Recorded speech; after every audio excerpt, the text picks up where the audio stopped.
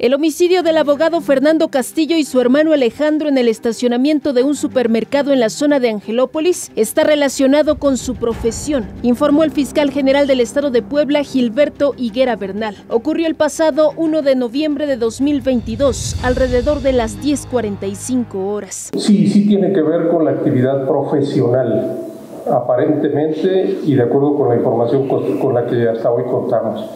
Puede que eh, este, este hecho y esta circunstancia se va seguramente a confirmar una vez que vayamos aprendiendo a cada uno de los responsables identificados. La Fiscalía de Puebla identificó a dos de los probables participantes en el asesinato. Además, tuvo la identificación parcial de tres personas más como probables responsables. Las autoridades analizaron al menos 15 videos de cámaras de seguridad, los que establecieron la ruta de escape de los probables responsables hasta el domicilio donde se ocultaron, en la colonia Bugambilias, en la ciudad de Puebla. El lugar fue cateado el pasado 18 de noviembre de 2022. Se localizaron los vehículos utilizados aquel 1 de noviembre, así como otros indicios que permitieron la solicitud y autorización de un segundo cateo en la colonia San José Mayorazgo el 27 de diciembre de 2022. La plena identificación de dos probables participantes en los hechos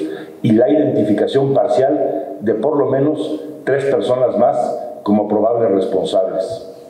Con los actos de investigación practicados hasta el día de hoy y que continúan desahogándose, se ha logrado que la autoridad judicial libre diversos mandamientos judiciales para el total esclarecimiento de los hechos y presentar a los probables responsables ante la, ante la autoridad judicial competente. La mañana del 1 de noviembre de 2022, el abogado Fernando Castillo y su hermano Alejandro fueron atacados a balazos en el estacionamiento de una tienda en la zona de Angelópolis. Fernando Castillo falleció en el lugar y su hermano, unas horas después, en el hospital.